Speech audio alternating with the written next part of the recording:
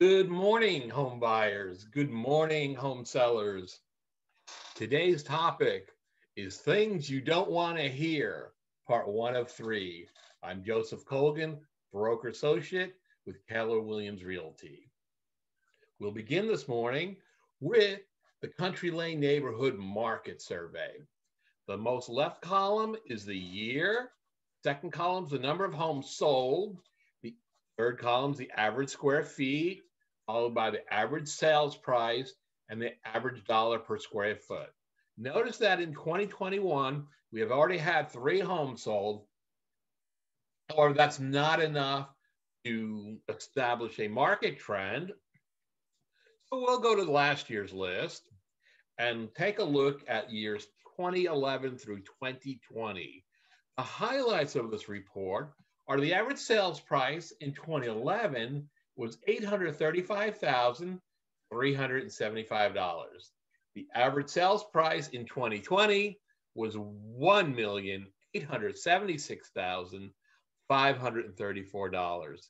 During that span, in one of those years, prices went down slightly. And in one of those years, prices went down almost $200,000. But in the entire span, prices went up $1,041,159. This comes out to an average yearly gain of $115,000. Why am I focusing on such a narrow area? It's an area that I have walked and rode my bike through hundreds of times. During this ground game, I'm able to pick up important details about the locations and conditions of the properties. Homes in this survey fall in a tight range between 58 and 63 years old. The lots usually range from 6,200 square feet to 11,800 square feet. All the homes in the survey are assigned the same elementary school, with most parents walking their children to the school during pleasant weather. Why am I focusing on such a narrow area?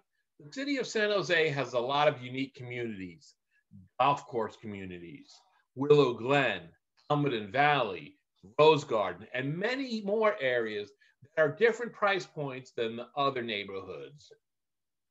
If one of those areas has more or fewer sales than it usually does, it will imply market trends for the city that aren't relevant to our search.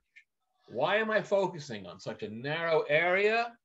This is only a starting point. We will consider many market factors when guiding you through a real estate transaction. Today, I want to look at the last column, the average dollars per square foot. In 2017, it was $947 per square foot. In 2020, it was $1,056 per square foot. It's a little, in other years, it's been a little higher or a little lower, but for sake of today's conversation, let's call it $1,000 per square foot. Why should, what you should know, but don't want to know, what is the average dollar per square foot for the streets that you are looking in?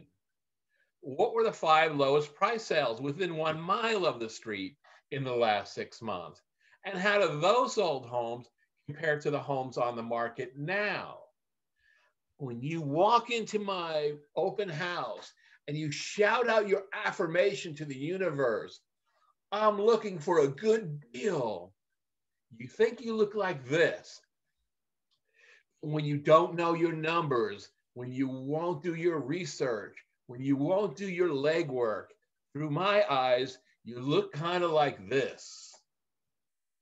Remember, time is money. The homes in this neighborhood go up an average of $115,000 a year. And more importantly, in most years, the market surges by about $140,000 in a 70 day window. After that big surge, it goes north, it goes south, it goes east, it goes west, left, right, upside down, right side again. And it just meanders for the remaining six months, 15 months, whatever. But then again, in late December or February or April, nobody knows, it booms again and it jumps of around another $140,000 in less than three months. It might sound like I'm trying to rush you, but I do not want you to make a deal until you're comfortable. But I do want you to understand how important timing is to real estate transactions, especially if you want to succeed in this. I want to serve people and work hard for them. One of the things I like about this business is I don't win if you don't win. I don't get paid until you have a transaction emotionally and financially takes care of your family. Be sure to tune in next week for more things you don't want to know. You'll be able to find these videos on facebook.com, Country Lane Real Estate, or facebook.com, real estate video pages, or call or text me at 408 898 0186. Joseph Colgan, Keller Williams. I look forward to working for you.